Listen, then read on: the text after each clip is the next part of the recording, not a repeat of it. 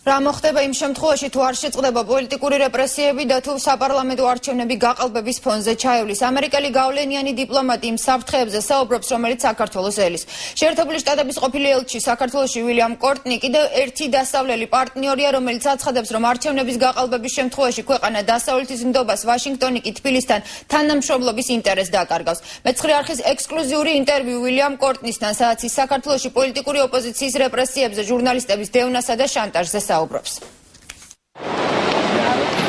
მოახლოებულ საპარლამენტო არჩევნებს საერთაშორისო საზოგადოება ყურადღებით აკვირდება.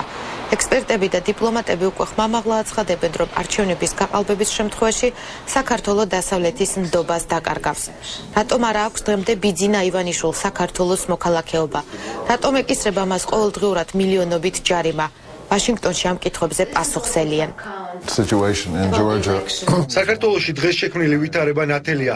პოლიტიკური ოპოზიცია რეპრესიებს განიცდის. დალუქულია მათი პირადი საბანკო ანგარიშებიც. ჩემთვის გაურკვეველია, რატომ არ აქვს ბიძინა ივანიშვილს დღემდე საქართველოს მოქალაქეობა, ან რატომ უნდა იხადოს მან დიდი რაოდენობით ჯარიმა. მინდა გავერკვე ყველაფერ ამაში, რაც ახლა ხდება საქართველოსი დემოკრატიულ არჩევნებს საფრთხეს უქმნის.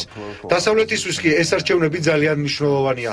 თუ არჩევნები არასამართლიანად ჩატარდა შეერთებული შტატების საქართველოსთან თანამშრომლობის ინტერესს. There could be more unrest in Georgia and in the west there could be a reduction of interest in Georgia.